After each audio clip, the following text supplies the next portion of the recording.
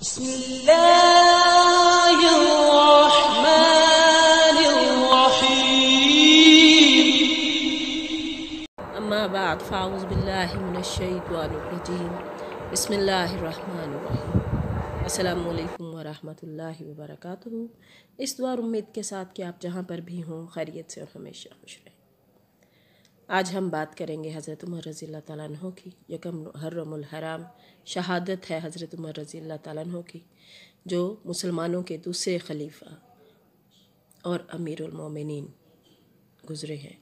हज़रत उमर रज़ी अन्हो की शान हम जैसे कैसे बयान कर सकते हैं कि जब इस्लाम कमज़ोर था और मुसलमान बेबस, तब एक दिन रसूल रहमत सल्लल्लाहु वसल्लम ने अल्लाह से इल्तजा की, या अल्लाह, अबू जहल बिन हशाम और उमर बिन ख़त्ताब में से, जो तुझे महबूब तर है, उसके ज़रिए से इस्लाम को गलबा अता फरमा दे। और अल्लाह ताला ने सैदना उमर रज़ी अल्लाह ताला चुन लिए। चुनाचे आपने फरमाया, इन दोनों में से खुदा के पसंदीदा उमर रज़ी अल्लाह ताला थे। सुबहान अल्लाह क्या शान है अमीरुल मोमिनीन की कि सल्लल्लाहु अलैहि वसल्लम ने फरमाया इब्न ख़िताब, कसम है उस साथ की जिसके कब्ज़े में मेरी जान है। जब शैतान तुम्हें किसी रास्ते पर चलते हुए देखता है, तुम्हारे रास्ते को छोड़कर दूसरा रास्ता इख्तियार कर लेता है। बुखारी शरीफ, जल्द दो, बाब फ़ज़ाइल। बाब फ़ज़ाइल में सैदना उमर फ़ारूक रज़ी अल्लाह ताला और हदीस नंबर है एट एटी। सुबहान अल्लाह क्या शान है और कैसे कैसे अल्लाह ने हमारे लिए हम मॉडल हमें बताए हैं कि इस जाँबाज की शहादत से इस्लाम का, इस्लामी साल का आगाज़ होता है जिन्होंने 22 लाख मुरबा मील पर हकूमत की। 22 लाख।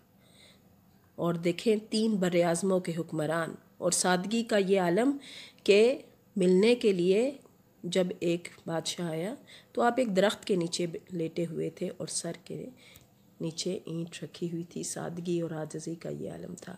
और लिबास की सादगी के सत्रह पेवन आपके लिबास में और तीन बर आज़म का जो हुक्मरान हो, उसकी सादगी, उसकी आजजी। अमीरुल मोमिनीन उम्र फ़ारूक रज़ी अल्लाह के बारे में थोड़ा सा बताते चलें कि खलीफ़ा दोम जानशीन पैगंबर हज़रत उमर फ़ारूक रज़ी अल्लाह ताला की कुनीत जो थी वह अबू हफ्स और लकब फ़ारूक आज़म है।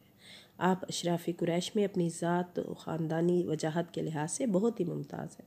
आठवीं पुश्त में आपका ख़ानदानी शजर रसूल अलैहि वसल्लम के शजर नसब से मिलता है।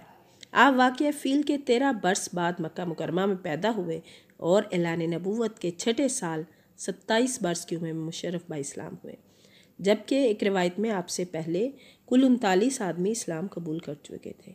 आपके मुसलमान हो जाने से मुसलमानों को बेहद खुशी हुई और उनको एक बहुत बड़ा सहारा मिल गया। यहाँ तक कि हजूर सल्लल्लाहु अलैहि वसल्लम ने मुसलमानों की जमात के साथ खाना काबा की मस्जिद में एलानिया नमाज़ अदा फरमाई। हज़रत उमर रज़ी अल्लाह के इस्लाम कबूल करने से पहले मुसलमान खाना काबा में नमाज़ नहीं पढ़ते थे। लेकिन जब हज़रत उमर रज़ी अल्लाह ने इस्लाम कबूल किया तो न सिर्फ़ नमाज़ पढ़ी, बल्कि आपने हज़रत बिलाल हबशी रज़ी अल्लाह से फरमाया कि आप खाना काबा में की छत पर चढ़कर अजान दें। आप इतने बहादुर थे कि कुफ़ार मक्का आपसे डरते थे। आप तमाम इस्लामी जंगों में मुजाहिदाना शान के साथ कुफ़ार से लड़ते रहे और पैगंबर इस्लाम सल्लल्लाहु अलैहि वसल्लम की तमाम इस्लामी तहरीक़ात और सुलह जंग वगैरह की तमाम मनसूबाबंदी में प्यारे नबी सल्लल्लाहु अलैहि वसल्लम के वज़ीर व मशीर के हैसे से वफ़ादार रफ़ीक रहे। अमीरुलमोमिनीन हज़रत अबू बकर सिद्दीक रज़ी अल्लाह तआला ने अपने बाद आपको खलीफ़ा मुंतखब फरमाया और आप दस बरस छः माह, चार दिन आपने खिलाफत पर खिलाफत पर पुर रौनक अफरोज़ होकर जानशीन रसूल की तमाम ज़िम्मेदारियों को बहसन वजूद अंजाम, बहसन वजूद अंजाम दिया। छब्बीस जिलहज को तेईस चारशंबा के दिन नमाज़ फ़जर में अबू लूलू फ़ेरोज़ मजूसी मजूसी जो काफिर था, ने आपको शकम, शिकम में खंजर मारा और आप पर यह ज़ख़म खाकर तीसरे दिन शहादत से सरफराज हो गए। बवक्त वफ़ात का आपकी उम्र, शरीफ जो थी वो तिरसठ बरस थी। हज़रत सुहेब रज़ी अल्लाह ने आपकी नमाज़ जनाजा पढ़ाई और रोज़ा मुबारक के अंदर हज़रत अबू बकर सिद्दीक रज़ी अल्लाह के पहलू अनवर में दफन हुए। क्या बात है अमीरमिन की। हज़रत उमर फ़ारूक रज़ी अल्लाह जो अपने अदल इंसाफ की वजह से पूरी दुनिया में मशहूर, जो तीन बर आज़मों के फ़ातह सबसे ज़्यादा फतूहत हज़रत उमर रज़ी अल्लाह के दौर में हुई। एक दफ़ा एक ख़ातून रात को जा रही थी तो आपने उससे पूछा कि तुम अकेली जा रही हो?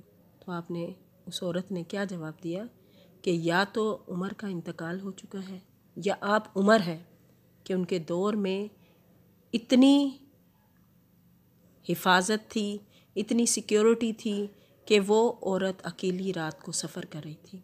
आपने सबसे पहले अदलो इंसाफ का निज़ाम, आपने सबसे पहले डाक का निज़ाम बनाया। ये जितने भी आजकल डेवलप्ड कंट्रीज़ हैं, ये सब फॉलो करते हैं हज़रत उमर रज़ी अल्लाह के उन तमाम असूलों को जो आपने अपनाए, जो आपने इस्लाम में राइज किए। ये सब लोग उसी को फॉलो करते हैं। और आपने कुरान और अपने प्यारे नबी सल्लल्लाहु अलैहि वसल्लम की सुन्नत पर अमल करवाया। यही वजह कि आप कामयाब रहे। और फिर